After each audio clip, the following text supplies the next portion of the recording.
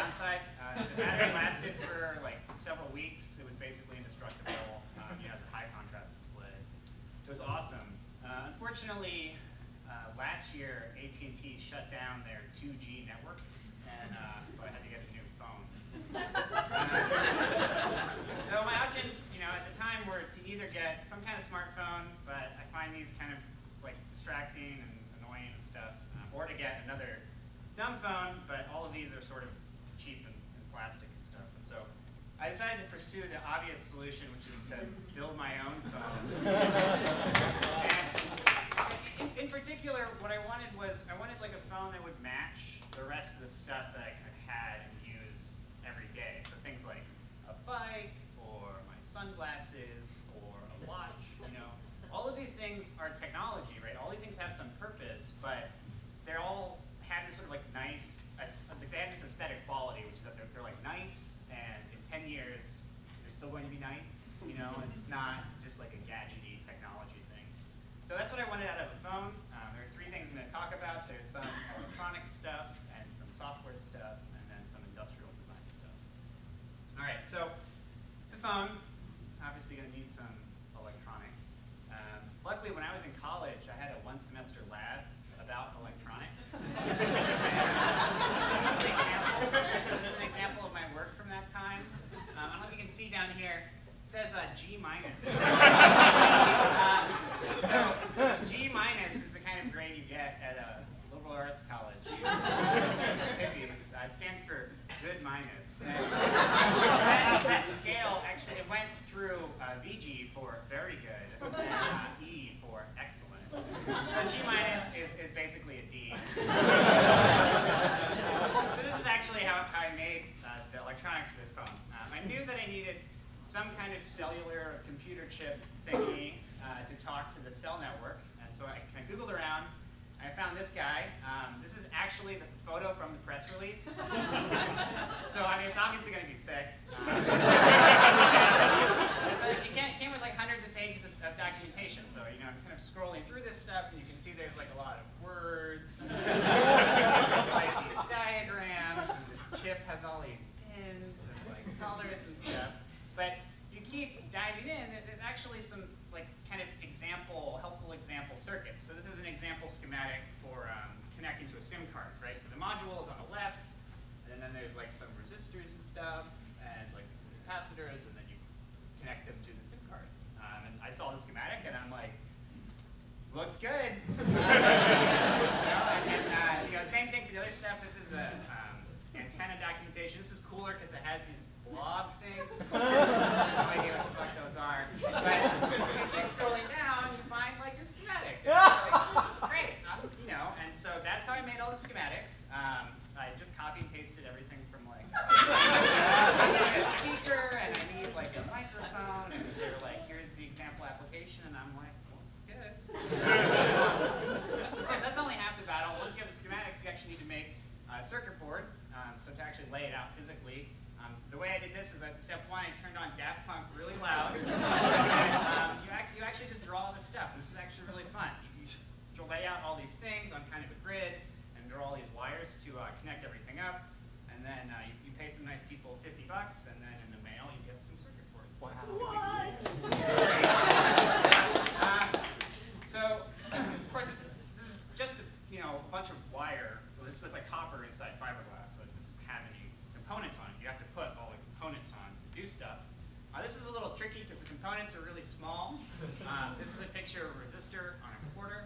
Um, so the way I did this is like I got some tweezers, and uh, so this is like I just printed out like a map of the circuit board, and then I kind of took all the components out of their really tiny little packages and put them on this map, and you know I, I sort of unpacked everything this way. And it's very important, like do not sneeze.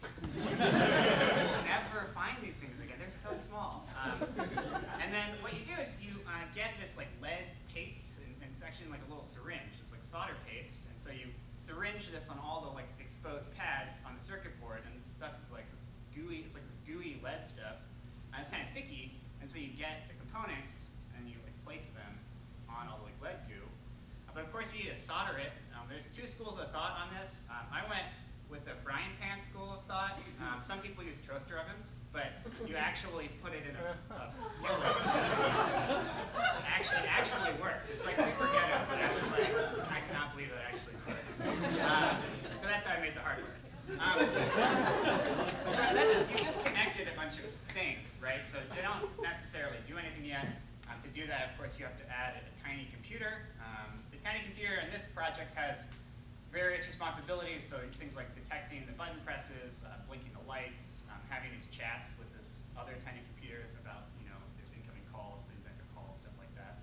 Um, so this, this is a tiny computer that I used. It's actually related to a lot of the um, Arduino stuff. Um, so I'm going to point out a couple of cool things. Uh, it's $8 in, in, quantities of one.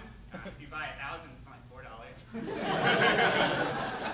right, it, I run it at 11 megahertz, uh, which is, is actually when you're working with physical stuff, it's a different relationship.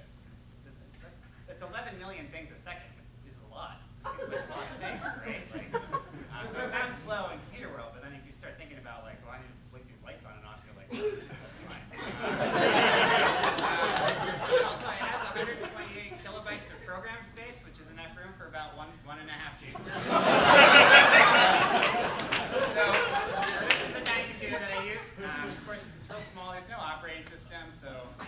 no threads, there's no garbage unless you write your own garbage collector. Um, you can't really call sleep because, you know, nothing else will happen. but you're not going to have callbacks or that stuff. So um, it's kind of a hostile, hostile environment. So before I started programming, I sort of planned all this stuff out using um, state charts. This is a picture of my um, notebook. And it's basically kind of thinking through sort of like, if you're familiar with uh, finite state machine diagrams, very similar kind of thing. Just planning out, okay, like the phone is idle and then maybe an incoming call happens, so it'll transition into this like ringing state, where, like the light is gonna blink and then, you know, if, I press a button, it's gonna answer the call or, or whatever. Um, so this is how I kind of plan everything out. There's a great book that I found um, about writing out stuff, so if you're interested in doing this, I'd highly recommend picking up this book. of course, once you write the software, you don't really have a phone. Um, what you have is this thing, and this is just a machine that'll get you thrown out of an airport. gotta, you gotta put this in like a box, right? So that's the last part of my talk, which is this industrial design stuff.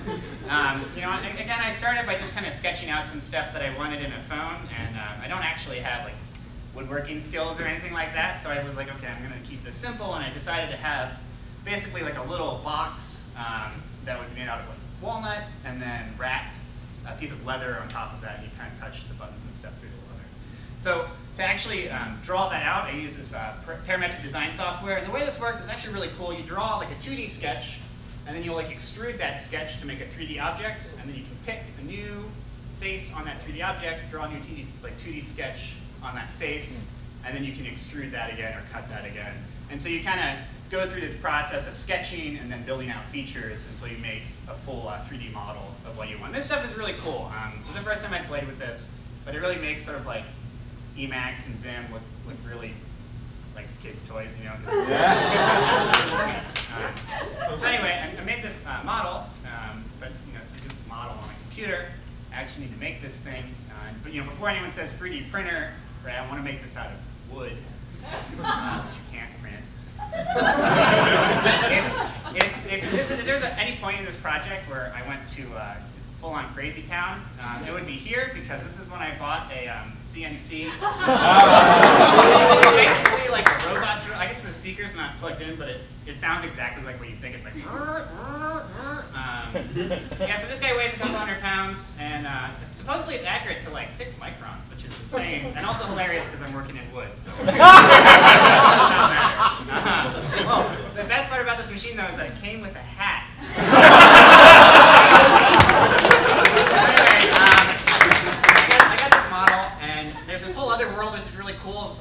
CAM software about how you actually move this tool around to like rip out the different parts of material. And you know, if you have different sizes of tools, there's different constraints about the stuff you can do. Um, it took me a while to, to, sort of figure this stuff out. Um, so a lot of us different kinds of wood, and I broke some of these really expensive drill bits.